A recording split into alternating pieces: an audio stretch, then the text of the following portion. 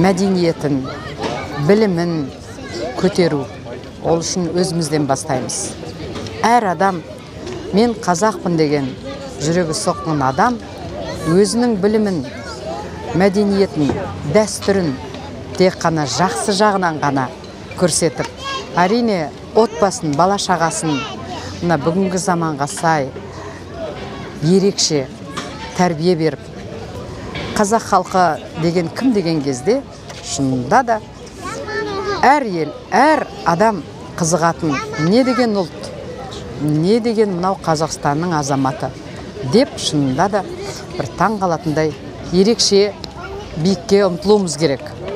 Рухани жаңғыру дегеніңіз сол білімді болайық мәдениетті болайық таза болайық алға үлкен үлкен мақсаттар қояйық. Мына ұрпағымызды жақсы тәрбиелейік.